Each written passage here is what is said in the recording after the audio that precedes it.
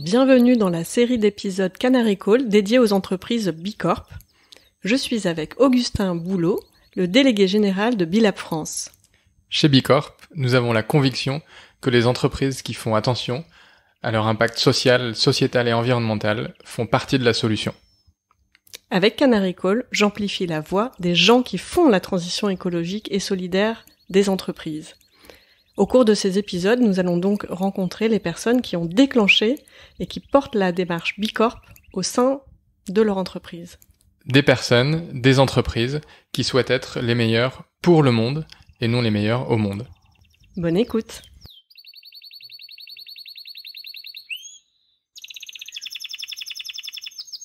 Bonjour Mathilde. Bonjour Perrine. Tu connais peut-être l'histoire des canaris du podcast. Euh, les canaris sont les oiseaux qui étaient emmenés dans les mines, car plus sensibles que l'homme à la qualité de l'air, ils alertaient les mineurs en cas de fuite de gaz toxique. Toi, si tu étais un animal, tu serais lequel et pourquoi? Ah, la bonne question. Euh, je me suis jamais posé cette question. Euh, après, quand j'étais petite, euh, il y a un animal que j'adorais, c'était le raton laveur. Donc euh, bon, je vais le sortir comme ça, mais euh, j'aimais bien le raton laveur. J'aime toujours bien le raton laveur parce qu'il est très intelligent, il est malin et il fait avec ce qu'il y a autour de lui. ouais, c'est le roi du système D, quoi. Donc je vais répondre raton laveur, mais cette réponse n'est pas très construite. Merci pour cette réponse spontanée. D'ailleurs, euh, les auditeurs ne peuvent pas te voir, mais aujourd'hui, pour l'interview que nous faisons euh, à distance, tu es en noir et blanc. Et ben voilà. Euh, Quel est ton métier aujourd'hui? Alors aujourd'hui, je suis VP People and Culture chez Shine. Euh, donc euh, Shine, c'est la néobanque responsable des indépendants et des petites entreprises. Et VP People and Culture, alors ça se rapproche du métier de, DRH. Je ne sais pas si c'est bien différent, mais voilà. Donc mon, je m'occupe euh, à la fois donc de pas mal de choses euh, dans l'équipe, du fait du quotidien des équipes.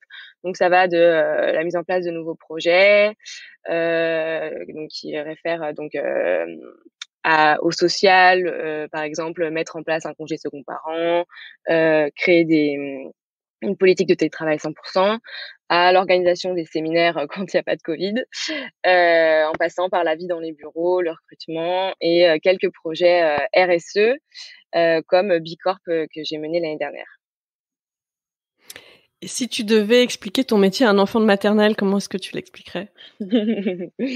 Euh, Ah, je lui dirais que mon métier, c'est de m'assurer que quand il sera grand, euh, bah, tout ce qu'il a appris à l'école, il pourra le mettre en œuvre euh, dans, dans, son quotidien, dans une entreprise où il se sentira bien, euh, respecté, où il pourra continuer à jouer avec ses copains après l'école, euh, il pourra être épanoui euh, et tout se passera bien. Il pourra continuer à apprendre plein de choses et continuer à grandir.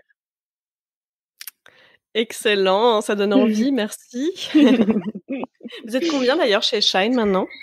Euh, On est 105, euh, je crois, à l'heure actuelle. Plus de 100, quoi on a pas mal, euh, on a pas mal grandi euh, ces dernières années. Shine, ça s'est créé donc il y a quatre ans. Et, et ouais, on est, on est dans la phase d'hypercroissance. Voilà. Tu es arrivé quand, toi? Moi, je suis arrivée au tout début de l'aventure. Euh, on était 4-5 à l'époque. j'ai pas mal, j'ai eu pas mal de postes différents enfin deux principalement. Au début, en fait, je suis rentrée en tant que donc j'avais j'étais à la fois un petit peu un pied dans les RH, mais j'étais surtout à la communication marketing parce que en fait parce que toi tu as un parcours euh, vraiment plutôt euh, comme marketing, des études euh, dans le dans le domaine, dans le digital. ouais, totalement. Comment, comment tu es du droit chemin. et ouais, alors euh, ouais, ouais, ouais, à la base, je viens de, de ces métiers-là parce que ça me plaisait, ça me plaisait quand j'étais en études et dans les premières années de mon métier. Et puis j'ai eu envie d'un peu plus de sens dans ce que je faisais. J'avais du mal à me retrouver euh, dans, à trouver du sens dans euh, faire plus de chiffre d'affaires, avoir euh, plus de notoriété pour pouvoir engranger plus de CA. C'est des choses qui, au bout de quand j'avais ouais 27-28 ans, j'ai commencé à me poser pas mal de questions. Je m'ennuyais et ça me stimulait plus trop. J'ai commencé par me dire bah tiens, je vais aller faire le même métier ou quelque chose qui s'en rapproche dans une entreprise qui a peut-être plus de sens par rapport à ce que je recherche, donc une association ou autre. Et donc j'avais trouvé une petite entreprise qui faisait des, kits éducatifs pour les enfants qui avaient du mal avec le système scolaire actuel. Et alors très bien, la, mission me plaisait davantage, mais mon métier c'était toujours c'était toujours un peu compliqué de d'y trouver un, un, intérêt un intérêt très très fort. Et à ce moment-là, j'ai eu pas mal de réflexions. Euh, je me suis dit, est-ce que je reprends des études? Est-ce que je reprendrai pas psycho? Parce que j'étais hyper intéressée par euh, bah, ces domaines-là, les sciences humaines. Et mais j'aimais quand même bien le monde de l'entreprise. Et euh, il y a quand même un, domaine, enfin en tout cas un métier qui peut concilier les deux, c'est le, domaine plutôt RH. Euh, mais euh, par ailleurs, j'avais vachement peur des RH parce que euh, par rapport à l'étiquette qu'on leur donne traditionnellement, enfin traditionnellement, dans, mon imaginaire en tout cas, mais un petit peu le bras droit du boss qui va serrer la vis et il faut faire attention à ce qu'on leur dit.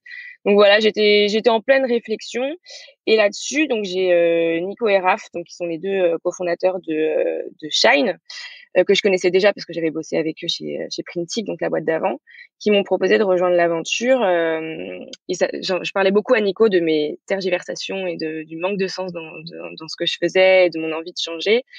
Et il m'a proposé en fait de, de venir, de rejoindre l'équipe et de commencer par avoir un, bah, mettre à disposition quand même les compétences que, que j'avais accumulées ces dernières années. Donc, commencer à créer la communauté. j'ai aussi pu l'aider sur les partenariats tout en apprenant petit à petit euh, le métier de RH euh, ou people, euh, comme on l'appelle ici. Donc, dans, ce que tu me dis, finalement, parler de sa crise de sens, de ses tergiversations, comme comme tu dis, à son boss, ça peut ça peut être utile et ça peut être constructif finalement. Ah ouais. Ouais, je pense que c'est même essentiel. on peut, enfin, en tout cas les entreprises ont tout intérêt à faire hyper attention à le, enfin, au, sens que veulent donner les individus à, leur carrière et à leur développement, parce que développement personnel et professionnel sont quand même souvent assez liés. Et euh, ouais, ouais, tout à fait. Euh, moi, ça m'a permis euh, finalement euh, d'arriver chez Shine. donc, et puis l'histoire est belle derrière. Hein, le produit a super bien marché et l'histoire est toujours belle. Donc, il continue à, à, à, bien marcher. On a une entreprise qui se développe sur des bases saines et euh, avec un bon équilibre vie pro vie perso, on se sent respecté euh, et épanoui au boulot. Donc, euh, en tout cas, on, on, œuvre dans ce sens et a priori, pour l'instant, ça marche plutôt bien. Donc, toi, tu as été recruté, tu as été recruté parce que tu te posais plein de questions et parce que tu avais envie de changer de métier sur ton ancien métier quand même. Et quand tu dis j'ai appris au fur et à mesure le métier RH, donc c'est en mode raton laveur ou euh, est-ce que euh, est-ce que tu as aussi fait des petites briques de formation par-ci par-là? Comment ça s'est passé? Ah, c'est marrant l'analogie. Euh, non, alors ça s'est passé. Donc déjà, oui, en mode raton laveur. Bon bah, je pense qu'on a on apprend en faisant. Donc euh, donc il y avait il y a eu pas mal de choses que j'ai faites euh, bah aussi avec l'institution qu'on avait, mais il y a, y, a, y a quand même un énorme volet juridique et euh, y a, on est en plein milieu du droit du travail, donc je me suis aussi vachement aidée de nos avocats. Euh, on a un cabinet d'avocats qui nous épaule au quotidien. Euh, et j'ai aussi beaucoup appelé euh, de personnes RH, de, enfin des RH de boîtes que j'admirais ou que je trouvais qu'elles avaient des belles façons de faire parce que j'avais entendu des amis qui travaillaient ou des choses comme ça. Et donc c'était un mail, euh, salut, euh, salut Marie, euh, est-ce que voilà, moi je viens de débarquer dans le milieu, est-ce que tu aurais cinq minutes au téléphone pour me donner en fait tes meilleurs conseils, les meilleures pratiques? On m'a jamais dit non et j'ai appris pas mal de choses comme ça et, et je suis aussi épaulée par deux RH de mon entourage quand j'ai quand j'ai un nouveau sujet ou quelque chose. Souvent je les appelle pour avoir leur retour d'expérience et, Donc une communauté apprenante que, que toi tu as structurée finalement sur ces métiers-là et deux mentors si je comprends bien. Ouais, ouais, ouais, tout à fait, c'est ça. Et euh, l'aide, euh, l'aide des avocats sur les sujets purement légaux, euh, euh, voilà. Hmm. Tu réinventes le plan de formation de, de, de reconversion. ouais, c'est, bah, j'ai fait un peu à ma sauce et j'ai eu la chance de tomber sur les bonnes personnes aussi. Euh, des personnes qui étaient à l'écoute et qui ont cru en moi aussi. Et à quel moment tu as changé de titre carrément? Comment ça s'est passé? À un moment, là, euh, qui a décidé? Toi Alors, euh, Le management Comment ça s'est concrétisé cette, ce changement de métier? Ouais. Euh, on n'est pas très bon au niveau des titres chez Shine. J'aimerais bien qu'il n'y ait pas de titre, que ce soit juste Mathilde Shine. Mais bon, en même temps, quand on se structure, euh, quand on grossit, on a besoin de mettre un peu plus de, transparence et de, enfin, c'est pas de, la transparence, mais de d'expliquer euh, organigramme tout ça. Au moment, on peut plus y couper. Mais euh, je, franchement, j'ai pas de souvenir. Petit à petit, j'avais plus le temps de, m'occuper des partenariats, ce genre de choses, donc je n'étais plus, enfin, je, ne répondais plus aux mails à l'extérieur, donc je n'étais plus partnership manager. Nos, tous nos titres sont en anglais parce qu'on parle en anglais au sein de l'équipe, vu qu'on a des, noms francophones. Euh, et ça s'est fait, ça s'est fait euh, naturellement quand à un moment je me suis dit mais ça n'a plus aucun sens de m'appeler euh, partnership manager, donc j'ai changé partnership, partnership par HR et après, en en parlant, euh, en en parlant euh, avec Nico, où je sais même plus trop comment ça s'est fait, je me suis dit ouais, mais en fait, j'aime pas HR, c'est trop connoté, donc en fait, on va mettre people. Et puis voilà, ça s'est fait comme ça. Donc c'est venu de toi, en fait. Euh, le changement HR people, oui, mm. c'est venu de moi, totalement, ouais. Bon, bah félicitations pour cette euh, prise de poste et cette reconversion. Merci Perrine.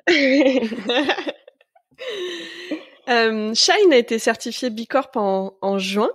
Quel a été ton rôle par rapport à ça? Ouais, alors euh, j'étais euh, chef de projet par rapport à ça. Alors en fait, on, on s'est dit euh, assez rapidement dans la vie de la boîte. Nico m'avait dit tiens, ce serait bien qu'on tente le label Bicorp. Pourquoi? Alors c'était important pour pour deux choses. Euh, un, on, depuis le début, on est en train de construire une boîte euh, qui, d'un côté, on voulait faire un, un, super produit qui soit super utile pour nos utilisateurs, donc les indépendants et les petites entreprises, avoir un compte bancaire qui leur soit euh, adapté avec un, un, vrai accompagnement administratif. Et d'un autre côté, on voulait aussi construire une entreprise en tant que telle, en tant qu'entité qui soit euh, très, enfin, qui soit responsable, dans laquelle euh, les, les, salariés se sentent épanouis, respectés, une belle qualité de vie pro-vie perso, et en même temps avoir le minimum d'impact sur la planète, donc euh, bilan carbone euh, le plus bas possible, etc., etc. Et alors, depuis le début, on se développe dans ce sens-là. Mais à un moment, on s'est dit ce serait bien de, se confronter euh, à un label, si possible le label le plus exigeant, avec un vrai audit derrière, euh, pour savoir si on est vraiment un dans la bonne direction. Et l'autre chose, c'est pour aussi apprendre euh, plein de plein de nouvelles choses parce que donc la moyenne de certification, elle est euh, pour les, les, premières tentatives, je crois qu'elle est à 50 points, sachant que le questionnaire est donc sur 200 points. Donc on se disait qu'il y avait un boulevard d'apprentissage devant nous et que même si on n'a pas le label, euh, rien que le fait de tenter euh, le BIA là, donc c'est l'outil qui nous permet donc de de d'avancer euh, tout au long du processus. Euh, voilà, ça nous permettrait de, de, découvrir de nouvelles pistes euh, ou de, de creuser euh, dans, dans différentes directions si jamais on avait besoin d'aller chercher d'autres points. Et puis même, on, on, peut, on doit toujours s'améliorer et on peut toujours s'améliorer. Je ne pense pas qu'il y ait d'entreprise qui ait les 200 points. donc, donc, plus que pour le label, c'était la démarche d'apprentissage continu ouais. liée à lié au process même de, de certification. Exactement. Euh, en quoi c'est très très important euh, pour vous en fait? Parce que ça pourrait même être euh, risqué. Euh, on, on, est une banque, on va prendre un, un label euh, pour y être taxé de greenwashing ou de. Comment vous gérez ça? Bah déjà, je pense que c'est le label qui a le moins de risque de se faire taxer de, de greenwashing parce que c'est pas quelque chose qu'on achète. Euh, c'est, enfin, nous, je crois qu'on a dû répondre à 180 questions et j'ai le souvenir que les 180 questions, euh, l'auditeur est passé dessus, quoi. Donc euh, voilà. Et l'intérêt pour nous, euh, on a, en fait, on n'y a pas vu de risque.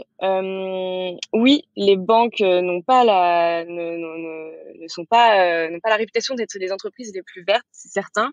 Mais on veut justement montrer que on peut l'être. On peut, en tout cas, on peut créer une banque et créer une entreprise responsable, donc créer une banque responsable et et obtenir le label, c'était euh, c'était aussi une reconnaissance, c'est vrai, plutôt publique, mais euh, en tout cas, euh, enfin montrer que c'est possible de le faire.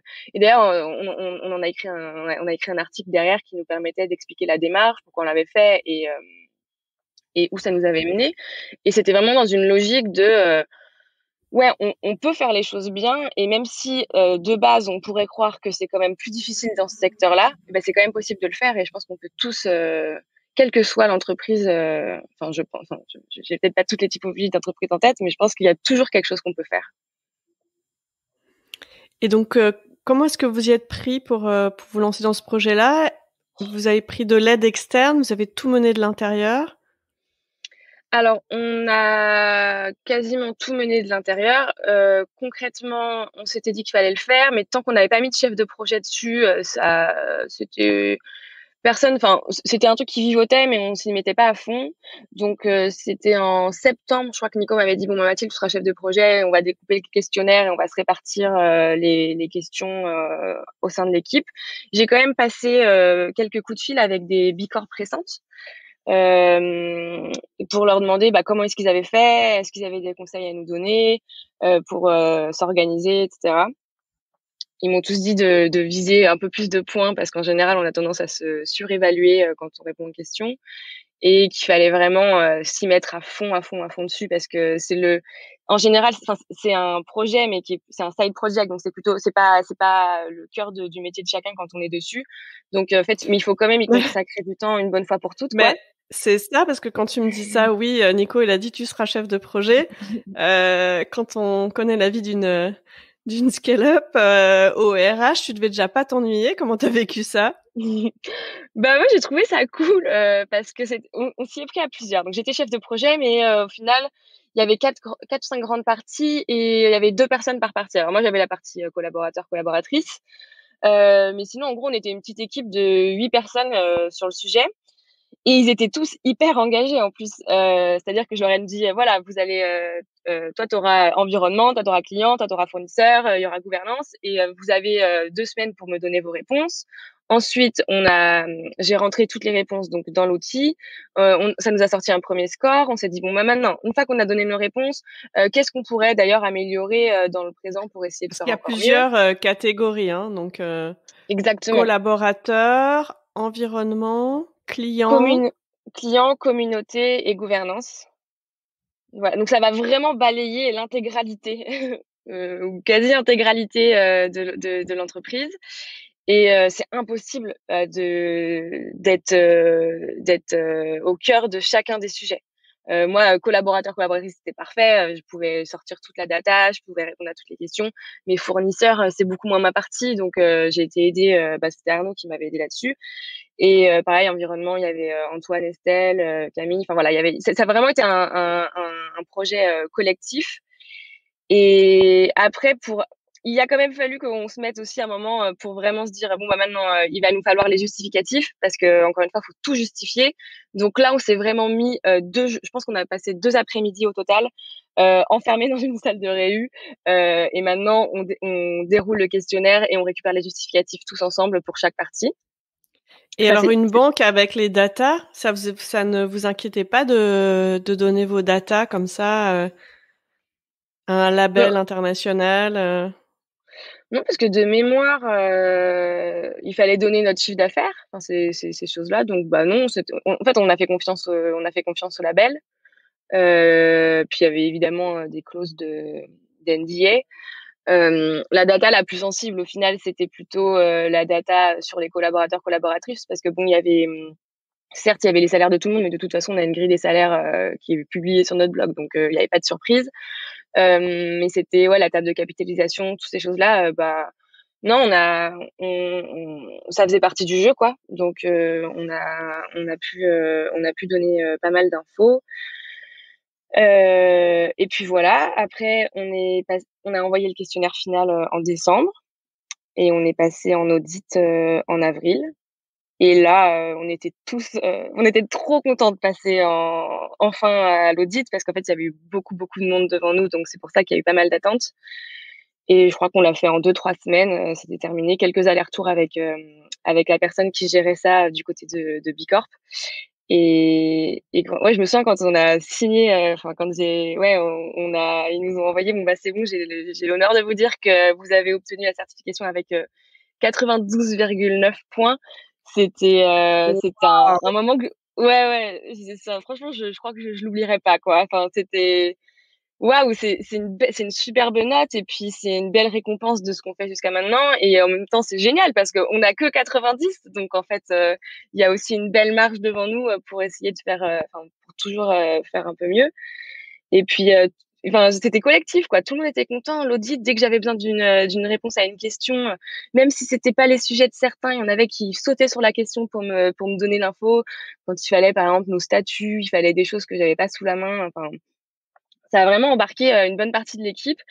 Et au-delà des dix personnes qui étaient concernées, quand on a publié, euh, j'ai publié le message, bon bah ça y est, on vient d'obtenir notre certification. Euh, c'était euh, tout le monde était hyper hyper fier, euh, hyper fier de ça. Donc ça c'est, pour le coup, c'est quelque chose qu'on, si on peut en retirer un truc en interne, c'était clairement une, une, espèce de ouais de fierté de se dire bon bah en fait ce qu'on fait c'est pas c'est pas que du vent quoi. Donc pour euh, pour mener le process de certification euh, en soi, vous avez travaillé de l'intérieur et donc tu avais, si je comprends bien, une petite équipe. Toi, tu étais chef de projet et tu avais une petite équipe d'une dizaine de personnes directement impliquées. Oui, ouais. Ah, des personnes vraiment à fond avec moi, je pense qu'il y en avait 4-5. Euh, 4-5. Ok, donc là vous étiez 4-5. Vous obtenez la certification. 92,9. Il y a 200 points possibles. Mm.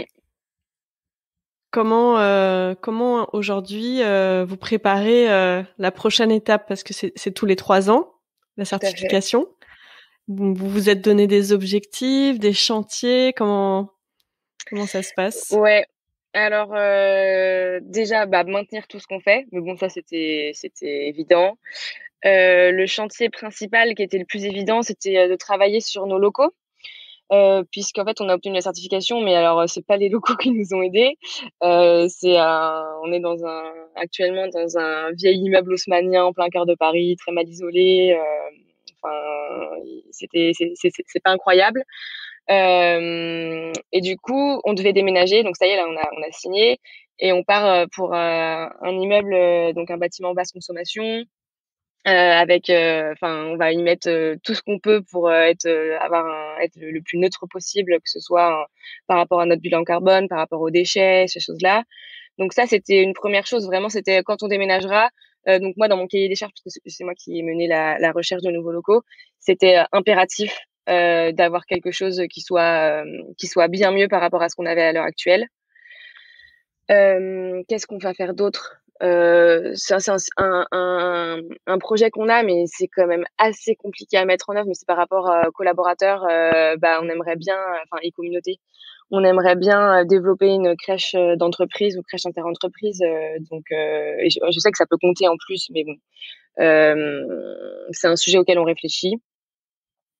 Voilà ce qui me viennent pour le moment. Est-ce que sur les différents chantiers, aujourd'hui, il y a plus de collaborateurs embarqués? Comment comment est-ce que toute l'entreprise se mobilise ou pas sur sur les sujets? Comment on n'a pas spécialement du, enfin n'a pas à l'heure actuelle, euh, enfin c'est un poste euh, qu'on est en train d'envisager, mais euh, on n'a pas quelqu'un qui est dédié à Bicorp en mode il faut voilà les voilà ce qu'on a identifié, voilà absolument ce qu'il faut qu'on fasse et voici la ligne à suivre. Je pense que c'est ça devient absolument nécessaire parce qu'il y a tellement de sujets qu'on peut, enfin, on peut vite passer à côté de quelque chose euh, sur des décisions qui peuvent être importantes en plus. Euh, donc c'est quelque chose qu'on doit plutôt, on doit plutôt travailler dans ce sens-là pour avoir quelqu'un qui, qui soit euh, conducteur euh, sur ces sujets-là. Mais sinon, c'est plutôt chaque chaque manager, chaque leader est, est, engagé par rapport à ces choses-là. D'ailleurs, on a tous dans nos dans nos job descriptions, euh, donc nos, nos, nos, missions, la dernière euh, est complètement relative euh, au sujet RSE. J'ai plus, j'ai plus le, la phrase exacte, mais on doit tous contribuer à ce que Shine soit l'entreprise la plus responsable d'un point de vue environnemental et sociétal. Donc c'est c'est au cœur des fiches de poste de chacun en fait. Génial. C'est-à-dire que pour l'instant, si je comprends bien, il n'y a pas de direction RSE tout le monde porte la démarche RSE dans, dans son poste. Voilà. Alors, d'une part, tout le monde l'a. Enfin, ça, c'est plutôt ce qui est ce qui est actuellement, mais il y a quand même euh, un poste qui est en train de, de, se créer petit à petit. On a Antoine qui est de plus en plus mobilisé sur les sujets RSE, et je pense, enfin, le, le sens de l'histoire, c'est d'aller vers quel, d'avoir quelqu'un au sein de l'équipe qui soit entièrement dédié à ça. Je pense que c'est indispensable. Mais euh, en tout cas, oui, si euh, je dois te faire une photographie de ce qui se passe actuellement, euh, on n'a pas quelqu'un qui est à 100% sur ce sujet-là, ouais. Pas encore. Cette démarche long terme d'engagement RSE notamment hein, à travers Bicorp qui est un outil finalement pour vous par rapport à une intention qui était posée dès, le départ. Qu'est-ce que ça change concrètement pour les collaborateurs? En quoi c'est différent d'exercer les différents métiers de la banque mmh. chez Shine certifié Bicorp que au sein d'une autre banque? Alors, euh, en tant que qu'entreprise euh, et en tant que banque, mais euh, déjà, on a, on se pose, je pense, pas mal de questions qui sont orientées dans, dans cette direction et à tous les niveaux. Donc, RH, ça va être donc un peu plus du côté le volet social, mais par exemple, je pense quand on fait le choix de nos fournisseurs, on fait nous maintenant également attention. on a un questionnaire qu'on leur envoie en amont. On fait attention à, la sélection de nos fournisseurs. Euh, ça va être euh, dans pas mal de démarches qu'on entreprend. Euh, ça va être, euh, enfin voilà. Après, le milieu bancaire, au final, c'est surtout essentiellement, enfin, on est un, on est un SaaS, donc on n'a pas non plus de, on n'a pas d'agence. Tout se fait en ligne. Donc voilà, aujourd'hui, nos données sont hébergées sur Google Cloud, qui sont eux-mêmes, leurs serveurs sont alimentés par de, de l'éolien, enfin d'énergie éolienne. Euh, ça va plutôt être dans le dans le choix euh, de dans, dans nos choix à ces, à ces niveaux-là qu'on peut qu'on va avoir un qu'on va avoir un impact, je pense, euh, à ce niveau-là. D'un point de vue entité physique, la seule chose qu'on a, donc, c'est nos bureaux. Donc, c'est ça, ça, on y a fait extrêmement attention. Au, au niveau de notre board, on traque la parité au sein de l'entreprise et on traque également nos volumes de déchets. Donc euh, ça, c'est des choses qui, qui, sont euh, assez importantes pour nous et ça nous permet également bah, voilà, de, d'en faire quelque chose d'extrêmement important au plus haut niveau de l'entreprise. Euh, également, dans, on a tous les, toutes les semaines, on, on partage une note à l'entreprise avec voilà qu'est-ce qui se passe ou qu'est-ce qui s'est passé ces derniers temps dans chaque pôle, où en sont nos différents projets. Et dans cette note, on va partager également donc bah, tous les mois les volumes de nos déchets euh, donc à l'intégralité de l'entreprise pour qu'ils sachent et puis voilà donc l'évolution comment ça s'est passé ce mois-ci et pareil avec l'index de l'égalité professionnelle donc euh, on a choisi de garder trois indicateurs qu'on partage tous les mois et qu'on traque tous les mois dans cette même note qui sont euh, donc bah, la parité au sein de l'entreprise la parité au sein du management et la différence des salaires hommes-femmes au sein de l'entreprise mais enfin on prend tous les hommes, on prend toutes les femmes et on calcule la différence de salaire moyenne.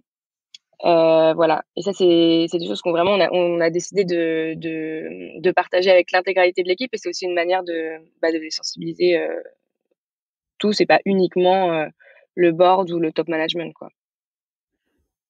Comment tu expliques que tout le monde soit aussi attentif et motivé par cette démarche au sein de Shine? Pour moi, c'est parce que ça, ça vient euh, de, du, bah, du plus haut de l'entreprise. C'est vraiment porté euh, par les fondateurs. Euh, et ils ont un rôle euh, dans, dans tout, tout, tout, ce genre de démarche. Euh, RSE, c'est hyper important que ça vienne, que ça vienne du plus haut. Même si on essaye d'avoir une hiérarchie qui soit la plus flat possible, y a, on a quand même une organisation qui est celle qu'elle est. Et c'est hyper important que ce soit les premiers l'exemplarité vient du haut, quoi. Donc euh, après ils sont pas non plus c'est pas non plus euh, extrêmement directif mais voilà on a on a pris des on a pris des décisions de euh, quand on part en séminaire on ne prend pas l'avion maintenant nos repas sont végétariens quand on part au sein de l'équipe ces choses là il y a que il y a que la direction qui peut prendre ce genre d'initiative ils mettent en place aussi pas mal de petites choses euh, et on communique aussi sur ces petites choses. Par exemple, alors c'est anecdotique, mais euh, un truc qui a, marqué euh, pas mal de monde, c'est euh, le midi maintenant. Le midi, si on le veut, on a une étagère juste à la, sortie du bureau sur laquelle on entrepose plein de tupperware euh, en verre. Et ça nous permet, quand on va chercher quelque chose au, au restaurant ou un, quelque chose à emporter pour le midi, bah, si on veut, on, on passe devant, c'est simple, on embarque un tupperware et euh, on le tend au restaurateur qui, au lieu de nous mettre la nourriture euh, dans un emballage euh, en carton ou pire en plastique qui va être, qui va avoir une durée de vie d'à peu près 10 minutes, et eh ben on le met dans, on le récupère dans notre tupperware et on va le manger à la pause déj et, et après ça va la vaisselle et, et, voilà. Et ce genre de choses, bah on peut se dire bah tiens pourquoi est-ce qu'on fait ça Bah voilà, c'est des petites démarches qui, en fait il n'y a pas de petits de petites de petites actions. Certes, c'est pas des tupperwares qui vont empêcher la, la, planète de se réchauffer, mais je pense que en nous suggérant, alors en nous imposant certaines choses et en nous en suggérant d'autres, petit à petit, l'intégralité de la boîte se sensibilise à ces sujets. Après, libre à chacun euh, d'avancer plus ou moins loin dans la démarche de transition. Euh, mais au moins c'est suggéré et clairement moi la première quand je suis avant d'arriver chez Shine je savais qu'il y avait un problème sur la planète, je savais qu'il y avait le réchauffement climatique, mais c'était des sujets qui me paraissaient super vastes, super compliqués. Et je me disais que de toute façon, moi, Mathilde, j'étais bien trop petite pour avoir quelconque rôle à jouer. Et puis en fait, en en, en, en parlant, en voyant que il y a des petits gestes qui sont simples à faire, en en parlant aussi au sein de l'entreprise, parce que du coup, c'est quand même un sujet bah, qui va revenir, par exemple, à la pause déj. Bah, on se sensibilise tout petit à, tous petit à petit, en tout cas, je pense, une certaine partie de la boîte. Et, et on devient, alors je, je pourrais pas te dire que je suis encore militante, mais en tout cas, je suis bien plus engagée qu'il y a quatre ans. quoi. C'est intéressant ce que tu viens de dire. finalement, c'est pas forcément juste des canaris qui qui sonne l'alerte et se mmh. mobilise pour transformer euh, l'entreprise. Euh, c'est aussi euh, l'entreprise, le, la mise en mouvement de l'entreprise qui peut transformer les, les individus. Mmh. Un petit canari peut-être un jour, mais ouais ouais. bah après c'est ce que moi j'ai vécu donc je peux oui, je, je, je, le, je, le, je, je te le confirme. Mais ouais, ouais, ouais. Qu'est-ce que ça a changé dans ta vie personnelle? Ah là là, bah, en vrai, pas mal de choses. Euh, enfin, pas mal de choses. Je sais pas si ça va avoir un impact euh, incroyable, mais euh, bon, déjà, je prends, on prend avec mon conjoint, on prend beaucoup, beaucoup, beaucoup moins l'avion. on essaye de se limiter à un vol par an. Euh, dans ma salle de bain, euh, j'essaye de virer le maximum de plastique. Donc ça y est, je passais au savon de Marseille véritable euh, et il y a que ça dans la, y a que ça dans la douche. Je suis pas encore passée à ça en shampoing, mais mon mec l'a fait. donc on se dit bah c'est cool, on limite on limite les déchets, on fait attention à quoi d'autre? Pareil, plus de au maximum plus, plus de bouteilles en plastique. Alors, on adore l'eau pétillante, bah du coup il y a des, il existe les soda stream et compagnie. Là, je veux pas faire de la pub à qui que ce soit, mais voilà, il y a, y a, des alternatives possibles. Euh, bon, les bouteilles en plastique, j'ai jamais trop aimé ça, mais bah on a tous une gourde. Euh, Qu'est-ce qu'on a d'autre? J'ai pas l'impression tu, tu parlais de ton conjoint. Ce que tu, ce que es en train de dire, c'est que finalement, ce que tu vis toi au boulot, t'as transformé toi et en train de transformer aussi ton conjoint, c'est ah, ça? ouais, ouais. Bah oui, oui, oui.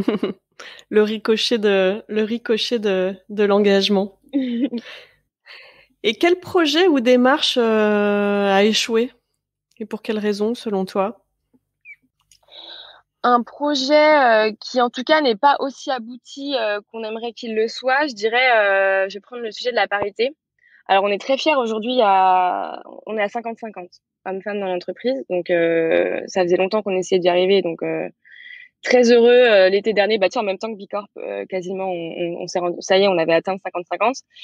Euh, mais après, euh, en fait, la parité c'est bien, mais ça peut vite être l'arbre qui cache la forêt. Et on s'est rendu compte que au sein du management, c'était pas 50-50, on est plutôt sur du 30-70. donc 30% de femmes et 70% d'hommes. Et, et c'est, on est vraiment en train de, enfin, c'est, c'est des choses qui sont lentes à, mettre en place, en tout cas de rectifier le tir pour euh, tirer vers du 50-50, parce qu'évidemment, euh, bah, recruter prend du temps. En plus, on est on est une on est une boîte euh, tech, donc avec pas mal de développeurs et il y a peu de femmes dans les métiers informatiques. même en école, les, stats sont assez faibles. Du coup, c'est difficile. Et sachant que les développeurs sont aussi les, les personnes qui qui ont des salaires assez élevés dans l'entreprise.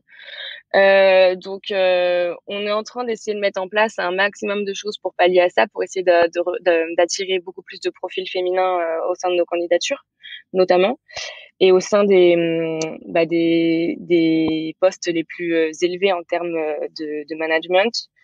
Donc, je dirais pas que c'est un échec, mais je pense que c'est quelque chose auquel on devrait faire mettre trois fois plus d'efforts si on devait recommencer Shine euh, quand il s'agit de recruter euh, les premiers postes, ou en tout cas des postes à fort euh, impact qui pourraient plus tard avoir un, un, une responsabilité plus importante dans l'entreprise.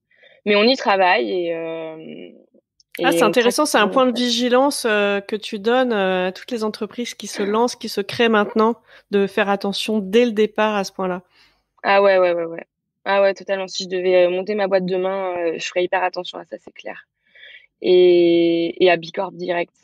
Parce que ça, pour le coup, c'est un truc qui a bien marché pour nous. Parce qu'en fait, on a fait attention à ça dès le début, avant même, enfin, quand on était même 4-5, quoi. Euh, et je pense que c'est beaucoup plus facile de, de, de, partir dans la bonne direction quand on le fait depuis le début parce que rectifier le tir, c'est beaucoup plus long et que de que d'être dans la bonne direction dès le début et d'avoir des ajustements à faire. quoi. Même si, quoi qu'on fasse, je pense qu'on a toujours besoin de de bah, d'un outil comme Bicorp hein, pour euh, se poser les questions régulièrement et se dire euh, tiens qu'est-ce qu'on peut faire euh, qui aille, euh, j'allais dire, de faire d'encore mieux, mais en tout cas qui aille dans la direction d'une entreprise toujours plus responsable. Qu'est-ce qui te motive le matin pour aller au boulot? C'est d'aller voir mes collègues et de passer euh, bah, un bon moment avec eux et de me dire que mon boulot il est utile aussi pour eux, que s'il y a un problème, bah, et bah je, pourrais je, je serais là pour aider et et de d'essayer d'inventer euh, enfin d'inventer euh, c'est assez pompeux mais en tout cas d'essayer de trouver des des modèles ou des façons de faire qui feront que on sera tous parce que je me considère une vraiment comme enfin je suis une salariée comme comme eux euh, qui qu'on sera toujours plus épanoui et qu'on pourra se développer d'un point de vue professionnel toujours plus fort parce que je pense vraiment que le, le, développement professionnel peut contribuer au développement et à l'épanouissement personnel. Et on passe tellement de temps au bureau qu'on peut pas sous-estimer tout ça. Donc voilà, c'est vraiment me dire que voilà, on est en train d'essayer de, si je peux donner la patate, en tout cas faire en sorte que euh, les, les 100 personnes qui bossent euh, ici, euh, alors je suis pas la seule, hein, évidemment, on est, on, est, on est tous responsables de ça, mais en tout cas faire en sorte que si je peux contribuer à cette équipe qui se sent bien épanouie, respectée, sans être sans polluer comme des malades euh, avec le produit qu'on est en train de faire et justement essayer de sensibiliser aussi nos clients sur les problématiques et, et, sensibiliser en interne parce qu'on fait euh, mais de manière euh, sans avoir vraiment fait exprès bah c'est que j'aurais joué ma j'aurais joué un j'aurais joué un petit rôle auprès de certaines personnes et et si s'ils sont heureux et bah bah moi je suis heureuse. Ça fait un peu bisounours mais voilà voilà pourquoi je me lève le matin. Vive les bisounours. Et comment tu fais en ce moment en, pleine crise sanitaire? Comment je fais quoi? Pour assumer ce rôle-là? Euh, bah, c'est pas facile. Euh, c'est pas facile. C'est un, c'est le sujet principal euh, un peu de tous les jours parce que je pense qu'on n'a pas encore fait le tour de tout l'impact de la crise sanitaire qui n'est d'ailleurs toujours pas fini et loin de l'aide, j'ai l'impression. Donc, il faut lutter contre l'isolement. Je pense que ça, c'est le plus gros sujet, euh, enfin le, le, plus gros risque et le, la chose qu'il faut vraiment à laquelle il faut être vigilante. Donc, euh, ça va être euh, d'être euh, privilégier un maximum le contact avec les équipes, euh, essayer de trouver des nouvelles manières de vivre euh, des situations plus informelles parce que c'est ce qui nous manque le plus au quotidien vu que nous on a rouvert euh, donc 15 places au bureau ce qui permet en moyenne à une personne de pouvoir venir une fois par semaine.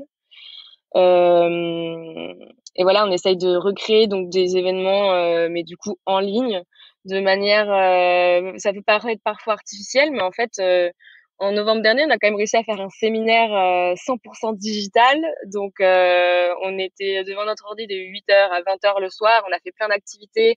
On nous avait, on, on, avait fait livrer des box chez tous les participants, donc l'intégrité de la boîte, euh, les semaines précédentes, ce qui nous permettait quand même de faire des petites dégustations, des choses comme ça, pour essayer de, ouais, voilà, de, revivre, enfin, essayer de créer, enfin, ou de recréer, en tout cas de redynamiser une ambiance de groupe le mode raton laveur euh, est une ressource. Peut-être, mais voilà, système D, hein, voilà, c'est ça. Mais après, c'est, je trouve que ce qui est aussi cool, euh, enfin cool, je sais pas si le mot est bien choisi, mais ce qui est pas mal quand même dans cette crise, c'est que bah, la solidarité, elle est, elle est là. Hein. On a des, des groupes de, de RH, euh, des communautés euh, où on s'échange euh, pas mal d'infos, de, choses qui ont marché, de choses qui ont moins bien marché. On est tous dans la même galère. nous, on était pour le côté 100% en ligne, 100%, enfin le fait de travailler en 100% télétravail, on était, on avait déjà les bons outils. Donc ça, c'était plutôt, c'était, c'était, mmh, ouais. on, avait une petite avance là-dessus. Enfin, je sais pas si on peut parler d'avance, mais bon, on a pu, on a, voilà, si on a pu donner des, des, des, des petits tips à d'autres boîtes, ça, qui étaient elles beaucoup plus en retard.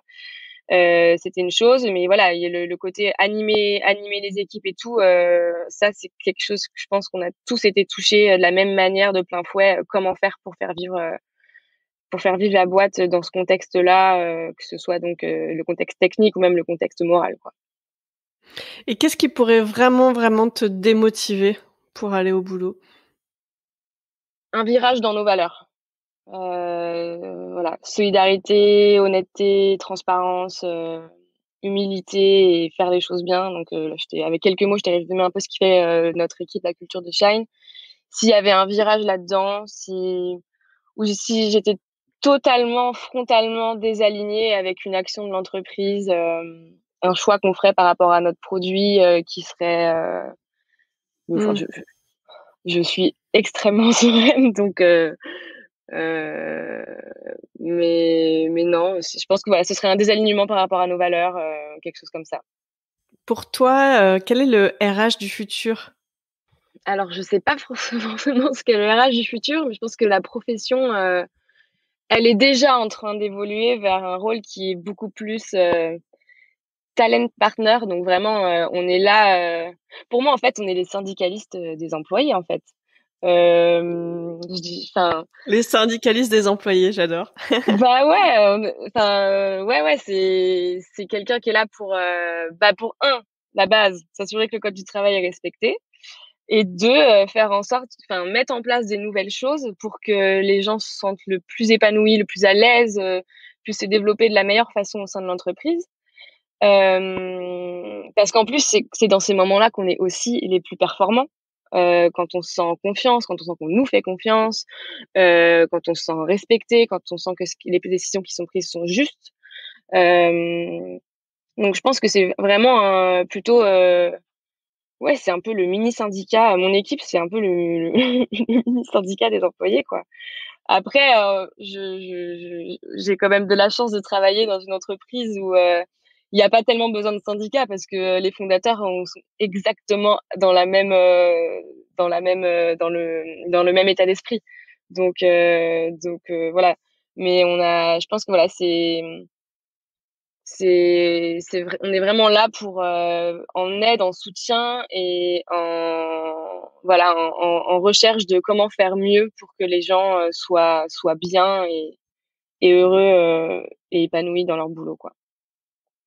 Et qu'est-ce que ne sera pas le le RH de demain? Ah. Le RH de demain ne sera pas un tyran qui tire dans les pattes et, et qui est dans une opacité totale par rapport à ses projets ou dans les, le but de chacun de ses de, de, chacune de ses actions. Euh, mais encore une fois, euh, ça c'est le RH d'aujourd'hui ne l'est déjà pas en fait. Un RH, euh, enfin, je, je, je, pense. Encore une fois, je, moi, j'ai mon bagage de mon de, de, de ce que je pense qu'un RH euh, était euh, quand j'étais en études, tu vois, mais euh, mais voilà, je pense que vraiment ce serait c'est un c'est quelqu'un qui est avec les équipes pour tous être ensemble fonctionner dans la bonne direction et de manière saine et, et voilà, c'est un garde-fou quoi. Et quel sera son titre? Parce que toi, tu n'as pas choisi Chief Happiness Officer. non, j'ai pas choisi ça parce que c'était trop réducteur. Et puis, hum, Chief Happiness Officer, euh, je trouve que quand tu penses à ce que ça veut dire, ça veut dire qu'il y a quelqu'un qui est responsable de, de, de, de, la, du bonheur, de la joie de chacun dans l'entreprise. Mais en fait, euh, ça, c'est le, c'est le, c'est le, c'est la responsabilité de, des managers, c'est la responsabilité euh, de la direction, c'est la responsabilité de tout le monde. Et, euh, et c'est bien plus que ça, parce qu'encore une fois, il y a, y a, tout le volet. En fait, l'épanouissement au travail, c'est pas juste avoir un baby-foot au milieu du salon et pouvoir boire des bières à la tireuse le soir. C'est pour moi, c'est même ça, c'est la caricature. Et il y a ni baby-foot ni tireuse à bière chez Shine d'ailleurs. Mais c'est vraiment quelque chose de beaucoup plus global et ça passe l'épanouissement ça passe déjà par un contrat de travail qui a été correctement fait bien écrit qui protège le salarié qui protège tout le monde d'ailleurs donc ça forcément c'est du légal donc c'est pas juste de la pinesse ça va voilà des horaires qui sont enfin, des, des horaires respectés enfin d'un rythme de travail qui est le bon ça va être des évolutions quand il le faut, une reconnaissance de, de son travail, donc via des augmentations. Et voilà, c'est, je pense que avant d'avoir des super séminaires, des choses comme ça, déjà concentrons-nous sur ces volets, sur ces points-là, avant d'investir dans des choses encore mieux entre guillemets, en tout cas plus plus triviales. Et quel est le le rôle du, de la profession RH euh, vis-à-vis de la politique RSE C'est extrêmement étroitement lié sur le volet euh, plutôt euh, social sociétal. donc pour moi c'est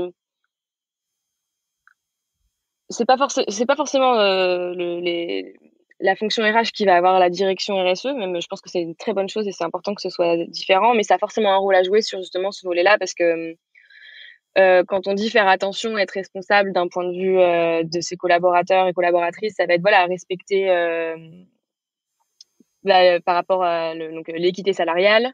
donc il y a plein de sujets égalité femmes-hommes qui sont au sein de la fonction RH. Ça va être, ouais, il y a, un volet énorme en fait qui se, qui se rapproche de ça. Euh, s'assurer que, enfin, s'assurer l'équité aussi sur le rythme des augmentations, s'assurer l'équité, plus petit salaire, plus grand salaire. Enfin, il y, a, quand même beaucoup de choses qui, qui sont prises en compte et qui relèvent de la responsabilité RH. Donc pour moi, c'est, c'est, c'est, on travaille main dans la main, quoi. Quel est ton canary call à toi, le message euh, que tu voudrais passer au plus grand nombre, là, maintenant, tout de suite euh, Ouais, donc je sais pas si je suis la plus, la, plus légitime pour faire un canary call, mais je pense que... Mmh, je connais ce syndrome de l'imposteur. ouais, ça me touche pas mal, surtout sur ces, surtout sur ces sujets. Euh, mais un message que j'aimerais bien faire passer, c'est que notamment à peut-être des gens qui, qui sont actuellement dans des, enfin, qui se posent des questions sur le sens de leur métier ou même qui sont sensibilisés aux sujets environnementaux ou qui sortent d'école et qui aimeraient bien, euh, qui bien faire bouger les choses. Je pense qu'il y a de la place euh, partout, donc certes dans, dans, des boîtes un peu innovantes, des startups ou quoi, mais il faut pas non plus hésiter à aller dans des dans des entreprises plus grosses ou ou plus établies parce que elles aussi elles ont besoin de, de, renouveau et on a besoin de faire changer les choses de l'intérieur et ces entreprises elles vont pas non plus disparaître demain et on a je pense qu'elles ont besoin de bah, d'énergie et de et de, de gens qui ont envie et qui ont envie de, de, prendre un bas le corps peut-être que la certif Bicorp elle prendra genre 10 ans à faire dans certaines boîtes mais elles, on a elles ont aussi besoin de changer de l'intérieur et c'est et je pense que je pense que voilà, si j'ai un truc à dire, et, et ben c'est que n'importe qui, euh, même si c'est si euh, des gens qui m'entendent et qui sont euh, déjà dans leur boîte, n'importe qui, je pense, peut aller parler à la direction ou au RH ou au responsable RSE, j'en sais rien, et dire bah tiens, il y a ce truc-là, qu'est-ce qu'on en pense? Est-ce que on pourrait pas, on pourrait pas faire bouger les choses? Est-ce qu'on pourrait pas tenter une certif? Est-ce qu'on pourrait pas juste créer un compte? En plus, c'est totalement gratuit le BIA on pourrait aller regarder et se donner des idées sur euh, qu'est-ce qu'on pourrait faire euh, pour euh, bah, pour essayer d'avoir d'être plus plus responsable, d'avoir un impact planète enfin extrêmement limité et un impact social plus fort. Je suis extrêmement touchée par ton canary call, Mathilde. C'est exactement la, la raison d'être du podcast. donner envie à chacun, chacune de faire les, les premiers petits pas. Euh, ton message est très déculpabilisant, inclusif. Comme tu le dis, t'étais pas forcément la plus engagée et euh, au départ et finalement, bah, c'est en faisant aussi, euh, en faisant les premiers petits pas à l'intérieur de ton job que ça a bousculé aussi ta vie personnelle. Euh, et, et finalement, en faisant, tu dis que ça doit être possible aussi dans des entreprises qui ont énormément de choses à, à, rattraper ou à changer et, que l'important c'est de se mettre en mouvement euh, dès maintenant à son échelle.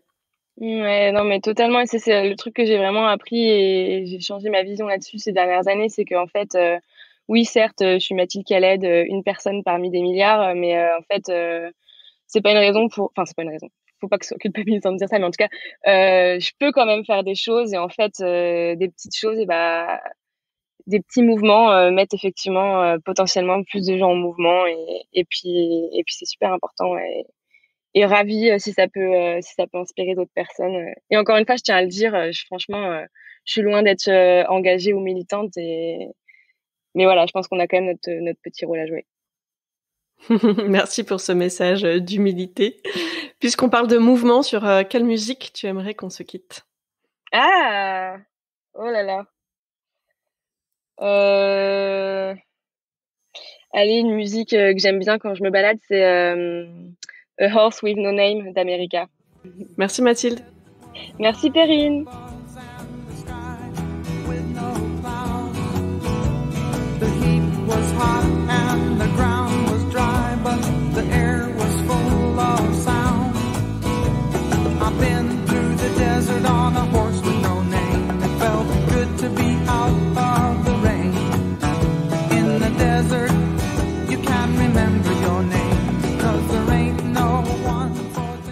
Merci pour votre écoute.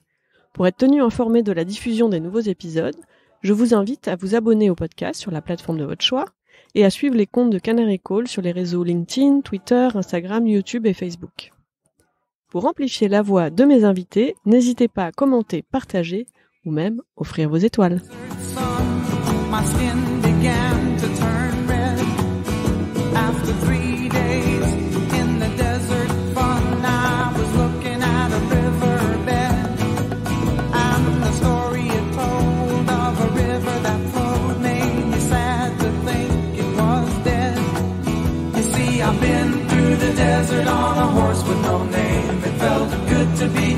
Of the rain.